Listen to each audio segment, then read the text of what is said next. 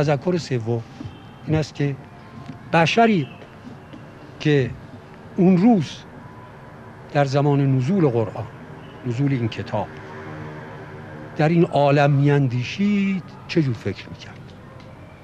یه عده مردم عامی بودن که این ستاره ها این کواکب ماه و آفتاب و زمین و کائنات رو نمی توانستن تصور بکنن که اینها حادث شده یه روزی هم فانی میشه. و از این جهت ستاره پرست ها خوب زیاد بودن. برای اینکه ستاره ها رو منشأ همه چیز می‌دانستن و اونها رو ثابت می‌دانستن. و فلاسفه هم همینطور. عجیب اینه که فلاسفه یونان که مترقی ترین فلاسفه دنیا بودن اصول عالم رو ثابت می‌دانستن.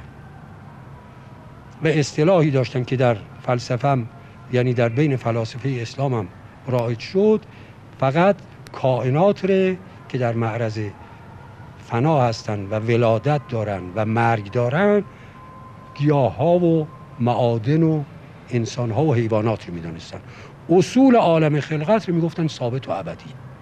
زمین اصولش ثابته آفتاب و ماه و ستاره ها اینا رو ابدی می‌دانستن.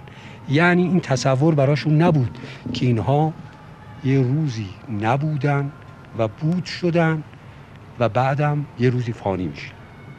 روز به معنی روز زمانی؟ روز زمانی بله.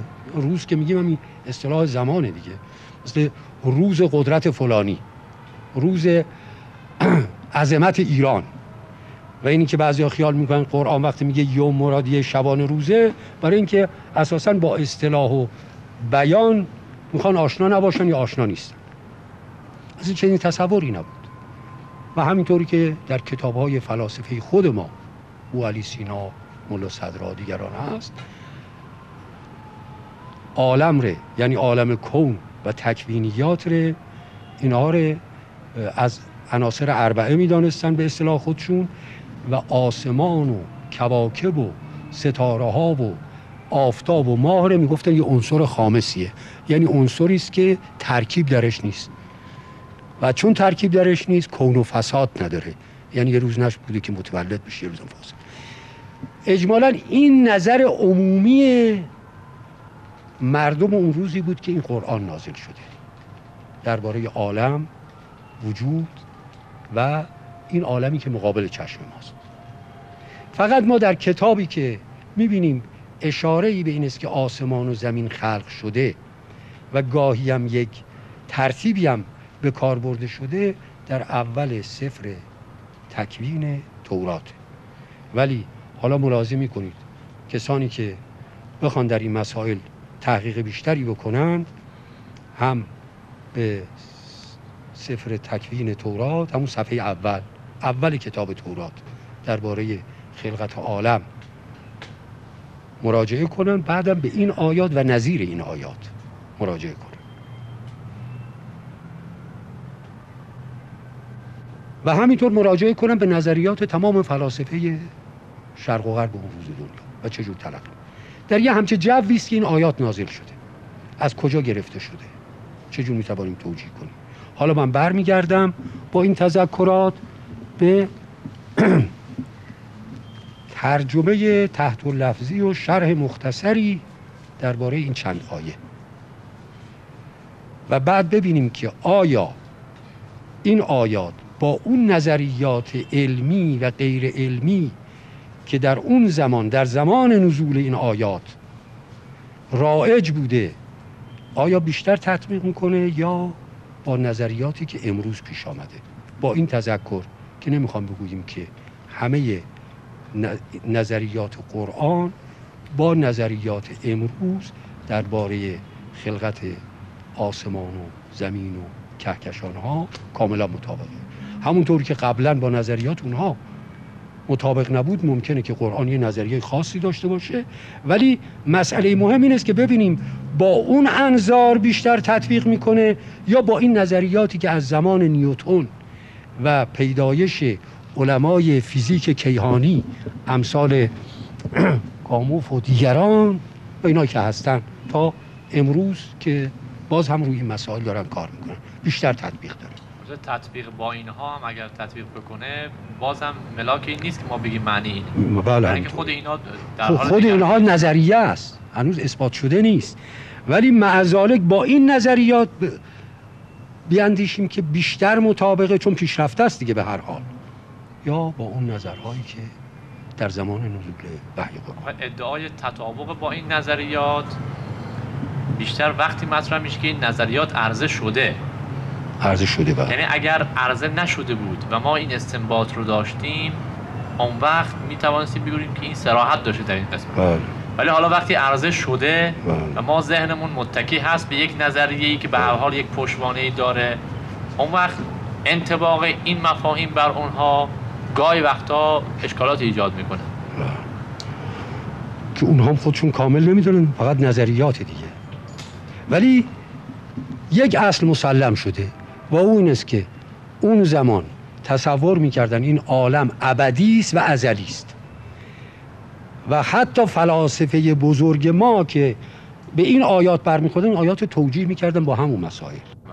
مثلا مسئله قیامت و فرو ریختن کواکب و از بین رفتن زمین و آفتاب و ماه و این مجموعه شمسی ما یا همه مجموعه شمسی ما همه اینا رو توجیه می‌کردن. چون تحت تاثیر اون افکار بودن و طوری بود که مسلم بوده. اصل مسئله این است که امروز این مسئله در دنیا مسلم شده. که این عالم چه این زمین چه این منظومه شمسی چه کهکشانی که میلیاردها منظومه شمسی رو در بر گرفته. و همینطور هزارها کهکشان دیگری که کشف شده و نشده اینا یک زمانی نبودن و متولد شدن و دوره هایی رو گذراندن یه روزم رو به فنا خواهند رفت. همونطوری که گاموف درباره پیدایش و مرگ خورشید کتاب داره که یه روز ب- و این این مسلمه که پس این مسئله اون زمان نبوده. یعنی عالم رو ابدی می‌دانستن. این عالم مجموعه کائنات ماره و قرآن به سراحت در اون زمان بیان می‌کنه که این عالم یک روزی نبود و متولد شد و ادواری رو طی کرد و یک روزی هم رو به فنا میره. این متولد شدنش یعنی به این هیئت نبود و الا شاید فرم دیگری توجه میفرمایید؟ حالا از خود آیات ما همین مسئله رو می‌خوایم چیز. البته علمای چیز میگن یعنی این منظومه شمسی این ستاره و ماه این کهکشان ها این آفتاب این زمین به این صورت هیچ وقت نبوده یه ماده اصلی بوده. همونطوری که در آیه دیگر سوره شاید دخان باشه. دخان. اولم یر الذین کفروا ان السماوات والارض کانتا رتقا ففتقنا این مسئله اون روز اصلا بحث نبوده. همچه تصوری نبوده که یه روزی زمین و آسمان یکی بوده به هم فشرده بوده و بعد از هم باز شده گسترده شده. یا در سوره دخان که میفرماید که از دخان شروع شده از دود شروع شده. تعبیری از بله. قرآن. حالا برمیگردیم به ترجمه تحت لفظی آیات با ذهنیاتی که درس خونده های ما از دبستانی تا دانشگاهی نسبت به نظریات فلاسفه دو سه قرن اخیر یعنی دانشمندان و فیزیکدان ها و نظریاتی که برای هیئت شناس ها پیش آمده. انتم اشد خلقا؟ ام السماء بنا. شما خلقتتون محکمتر پایدارتره یا آسمان. آسمان چیه؟ آسمان یعنی هر چی که جلو چشم ماست بالای سر ماست. البته این ما می‌دانیم که آسمان یه امر نسبیه یه امر واقعی نیست. اگه واقعا جهت فوق همین باشه پس مردمی که اون طرف کره زمینن باید سرشون سرازیر باشه. حالی که اینطور نیست. پس هر چه عالم رو نگاه می‌کنیم به این تعبیر آسمانه. درسته؟ بعد می‌گوید یا این آسمان یعنی عالم بزرگ. این عالمی که هر چه چشم بیاندازی باز جلو چشمت هرچی جلو بری هست باقی. باقیه. بناها. بعد با یک کلمه فرماید این آسمان اینجوری نبوده بنا شده. یعنی قبلا بنا نداشته. بنا یعنی چیزی رو مرتب از پای شروع کردن. درسته؟ رفع سمکها فسواها. سمک غیر از قطر و طول و عرض و عمقه سمک یعنی جهات مختلفی که از مرکز شروع میشه. یعنی شما در یک کره وقتی که یک نقطه مرکزی دارید تمام اطراف او و شعاهایی که از این مرکز ارتفاع پیدا کرده او رو میگن سمک. سمک غیر از ارتفاع غیر از عمق غیر از طول و عرضه پس از اینجا چه مسئله ای رو ما از ظاهر این آیه دریافت می‌کنیم؟ این است که این عالم از وسط توسعه پیدا کرده ارتفاع پیدا کرده. در هر جهت ارتفاع پیدا کرده. فسواها فای تفریع دنبال سه مطلب پشت سر هم. بناها رفع از که ها پس معلوم می شود این تفریع با یه فاصله ای بوده. پس از اون این تصویهش کرد تصویه یعنی هر چیزی رو در موضع خودش قرار دادن و در مدار خودش و در جهتی که متساوی باشه از هر جهت. و اقتشه و اقتشه لیلها و اخرج زها خب با همین نظریه ای که عالم یه ماده ای بوده. علمای فیزیک میگن ماده هیدروژن بوده هلیوم بوده هر چه اسمش می‌گذارن که از اونجا شروع شده. قرآن تعبیر می‌کند می‌گوید که ماده دخانی بوده. اون وقت که دیگه اصطلاح هلیوم و هیدروژن و اینها نبوده شبیه ترین چیزی که قابل تشبیه بوده همین ماده شبیه دود بوده. اینجا قرآن می‌گوید بعد از آنی که این عالم گسترش پیدا کرد از هم باز شد مثل بادکنکی که از تو از اقتارش توسعه پیدا می‌کنه اقتش لیله ها این اقتشه یه لغت خاصی است که شاید در همین جای قرآن باشه. نمی‌گوید که شبش رو ایجاد کرد. معنای اقتشه این است که به تدریج تاریکی شب تاریکی و روشنی به تدریج سایه انداخت تا شب شد. شب یعنی چه؟ یعنی سایه جرم. چیز دیگر نیست که. پس معلوم می شود که قبل از این جرم سایهدار نبوده. یعنی اجسام همه در حال انفجار و تلعلع بوده و تشعشع بوده. بعد اجسامی جمع شده و تکاسف پیدا کرده به تدریج هی سایه انداخته. همونطوری که الان میگیم شبه یعنی سایه نور دیگه. اگر این جسم زمین ما نورانی بود که شبی نداشتیم. مثل همه اجسامی که نورانیه. پس اغتش لیلها شبش رو به تدریج بیرون آورد و اخرج زهاها. نورش هم به تدریج پرتو افکن و روز و شب پدید آورد. که اخراج شد که شاید آخرین نظریه این باشه که بعضی از کرات بعد از آنی که تشکیل شد و حالت انجماد پیدا کرد همونطوری که درباره تحولات خورشید بیان می‌کنن که ابتداعا از اون ماده اصلی جدا شد و متکاسف شد و بعد به تدریج از درونش شروع کرد فعل و انفعال ها و انفجارهای درونی حالت تشعشع و به اصطلاح نوری که نور حرکتی و تشعشعی یا با قول امروزی اکتیویته شروع کرد از خودش بروز دادن. قرآن را می‌گوید اخرج زهاها. اغتش ها و اخرج زهاها. و الارض بعد ذالک دهاها. بعد از این مراحل میاد به سراغ زمین. زمین رو چی کار کرد؟ زمین رو بعد از این چی؟ دهاها. این کلمه ده یا دهی که هم به اصطلاح ناقص واوی خوانده شده هم ناقص یایی. چندین معنا ازش علمای لغت بیان کردن. یکی گسترش. جسمی رو که گسترش میدن. یکی حرکت دادن جسمه. یکی سنگین شدنه یعنی چیزی که باد بکنه و سنگین بشه. و همینطور معنای تدافع هم هست. یعنی دو جسمی که با هم تدافع دارن اینم میگن دهاها. اون جسم. و همینطور قلتاندن به اصطلاح کره است. یا توپه. شما وقتی توپ رو میندازید حرکت می‌دید یه حرکت دفعیه که از جاذبه خودش بیرون میره. و در عین حرکت دفعی حرکت انتقالی هم داره دیگه. که دور خودش میگرده. اگر دقت بکنید ببینید همین کلمه دهاها خود این یه معجزه خود این لغت. که از کجا این لغت قرآن در اینجا به خصوص در این مورد. که در دو جای قرآنه.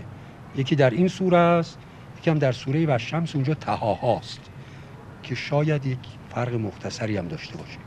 پس بنابراین از کلمه ولعرزه بعد از ذالک اینجا دیگه بعد آورده. معلوم شه مراحلی گذشته تا زمین به این صورت در آمده. زمین ره گسترش داد زمین باز شد از همدیگه انبساط پیدا کرد و علاوه حرکت مداری خودش رو شروع کرد. که مثل حرکت توپی که پرت می‌کنید به. حرکت دورانی خودش در این انتقال. در این انتقالیش در این حالت دفعیشون معنای ده معنای تدافع هم هست.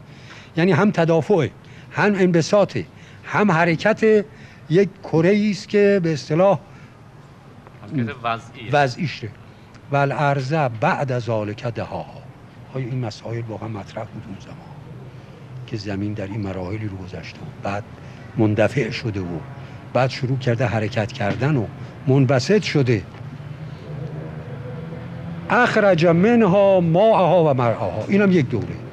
که تمام اینها میلیون ها میلیارد ها سال ممکن ازش گذشته ولی از نظر کلی عالم همش مثل یک روز و یک شب یک روز و یک شب. یعنی مدت ها زمین دور خودش میگشته حرکت می‌کرده ولی هیچ آثار آب و گیاه در زمین نبود. بعد آب تکوین شد. حالا آب تکوین شد دنبال آب گیاه تکوین شد. اخرج منها ماءها و مرعاها و الجبال ارساها کوه ها لنگر انداختن. لنگر غیر از اینکه کوه ها رو بنا کرد. لنگر برای کشتی است که از حرکت طوفانی آب به توان خودش نگه داره یا یه جایی او رو بند کردن. میگن لنگر. کوه ها رو لنگر انداخت در زمین. یعنی کوه ها به تدریج در عمق دریاها یا در اثر انفجارها. همین نظریاتی که امروز هست. اینها تکوین شد و در این حرکت سریع مثل یک لنگری است که او رو از انحراف ها و اینها حفظ کنه. این چند دوره شد؟ دوره زمین یکی دوره ده زمین یکی دوره تکوین آب. تکوین چراگاه ها و گیاه ها تکوین کوه و بعد تکوین انسان. ولی تصریح نکرده به تکوین انسان. برای اینکه عظمت انسان رو ذکر کنه همه اینها مقدمه بود. متاعا لکم ولی انعامکم یعنی پیدایش انسان. همه اینها این ادوار رو گذران تا به پیدایش انسان رسید. این نظریه قرآن حالا تطبیق کنند. علما و محققین ببینن این نظریه تا چقدر در زمان نزول قرآن بوده و بعد این پیشرفت های علمی و نظریات و اکتشافات و تحقیقات چقدر تطبیق می‌کنه با این؟ گذشته از تطبیقش اصلا خود طرح بحث مهمه. طرح بحث. یعنی که اصلا به این مسائل کسی بپردازه؟ بله. بپردازه و اینجور منسجم که دوره هر کدام مترتب بر دوره گذشته. صلی الله علیه